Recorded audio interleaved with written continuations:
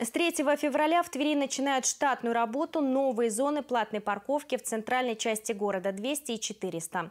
Цена услуги остается прежней – 30 рублей в час. Напомним, что платные парковки начали работать в Твери в 2015 году. В первую очередь они были оборудованы на бульваре Радищева, улицах Трехсвятской, Желябова и Новоторской.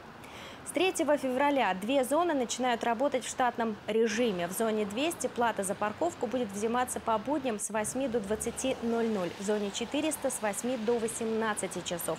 Также только в будние дни.